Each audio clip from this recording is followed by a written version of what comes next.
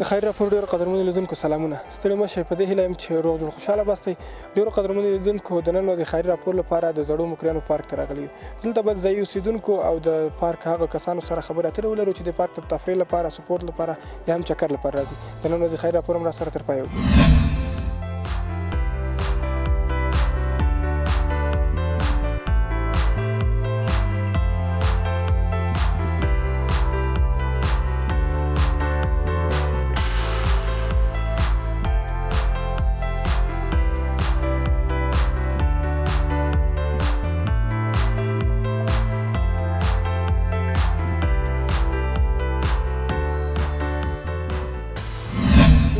قدرمنو لیدونکو زمون بل ګران دوست د همدې ځای اوسیدونکی دی دوی سره خبرې اترې کوو سلام برادر خوب هستی؟ سلام بیارم خوب هستین خیرتیست سلامت باشی زنده باشی گفتین خانه میجاست بله خانم بلاک چهار الفت مکرونگونه باشنده میسای هستیم.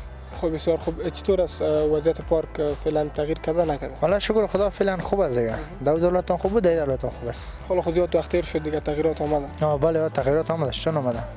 خب از کدام مردم اینجا زیاد میاین به چکر میاین یا از خاطر سپورت؟ به چکر منطقه گوناگون میاین از قلعه زمان خانم میاین سمت خانم میاین مکروی جای تفریحی است اما مردم میاین اینجا امی پارک یک وقت وضعیتش زیاد خراب بود دوزادوزی زیاد بود رهزنی می‌کردن مردم حالا موگا پاس یا نه؟ دیگه نه شکر خدا فعلا نیزه خب راضی هستین دیگه از وضعیت؟ آه آه شکر خدا وضعیت شکر. سلامت باش. سلامت باش.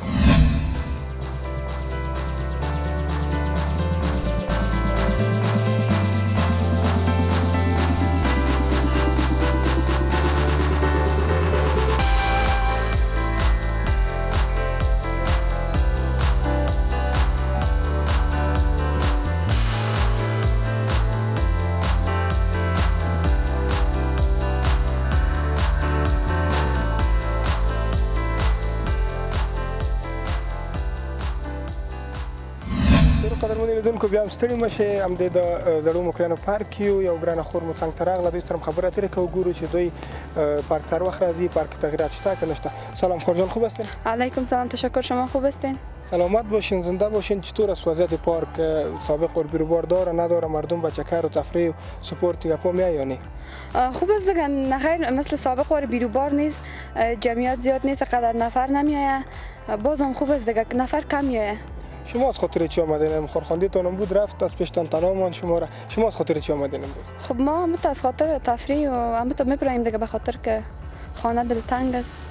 یگان دفعه هم تو بیرون می‌بریم اینجا باز همو مردم که سابق اینجا صبح که می آمد تمرین می‌کرد ورزش می‌کرد سپورت حالی میایه یا نه؟ اون بیخ کم شده. نه میاین به ورزش کردن زیاد میاین شما خودتون ورزش می‌کنین یا فقط چکر یگان دفعه برای؟ نه ما چکر میایم چکر می ورزش نمی‌کنین نه خیر. سلامت باشین. تشکر زنده باشین.